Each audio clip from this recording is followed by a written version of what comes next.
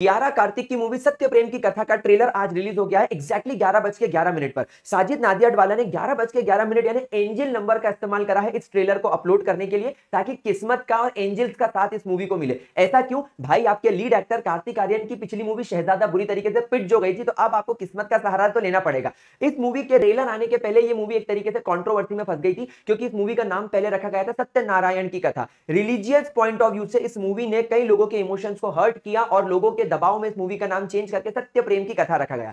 खेल ट्रेलर बहुत अच्छा है। कियारा और कार्तिक की केमिस्ट्री भूल भुलैया टू की तरह इसके अंदर भी बहुत कमाल लग रही है। फ़र्स्ट ग्लांस में जब मैंने इस ट्रेलर को देखा तो मुझे ऐसा लगा कि कियारा कार्तिक की इस मूवी के अंदर शुरुआत में एक प्यारी सी लव स्टोरी डेवलप होती है, बाद में दोनों की शादी हो जाती है और शादी के बाद कॉम्प्लिकेशन आते हैं। लेकिन एक दो बार ध्यान से देखने पर यह लगा कि दिखाया कुछ इस तरीके से गया कि क्यारा और कार्तिक की शादी हो रही है। बट एक्चुअली क्यारा की शादी उसके बॉयफ्रेंड यानी किसी और के साथ हो जाती है और फिर भी कार्तिक आर्यन उसको प्यार करना बंद नहीं करता और उसके साथ में हमेशा रहता है। थोड़ी सी घिसी पिटी सी और थोड़ी सी दुखी कर देने वाली कहानी मुझे लग रही है। लेकिन इसमें कॉमेडी के एलिमेंट्स भी है, मूवी में फन भी है इमोशन भी है ड्रामा भी है, यानी टिपिकल बॉलीवुड टाइप की मूवी है। लेकिन फिर भी क्यारा कार्तिक की केमिस्ट्री इस मूवी के अंदर अच्छी लग रही है, जो इस मूवी की यूएसपी बनेगी। इस मूवी के डायरेक्टर है समीर विद्वंस, जिन्होंने अभी तक रीजनल लैंग्वेज में मूवीज़ बनाई है, कोई बॉलीवुड मूवी उन्होंने अभी तक बड़ी बनाई नहीं है। फिर भी इनका डायरेक्शन अभी कैसा होगा, ये देखना बहुत इंपॉर्टेंट है, लेकिन फिर भी मुझे इस मूवी से उम्मीद नज़र आ रही है। इस मूवी का बजट साजिद नाडियाड वाले लगभग पचास से साठ करोड़ का रिवील किया है, लेकिन मुझे ऐसा लगता है कि ये मूवी अपने बजट को तो बहुत आराम से निकालेगी क्योंकि सैटेलाइट ओटीटी म्यूज़िक राइट्स वगैरह सेल कर दिए जाएँगे, और अगर ये मूवी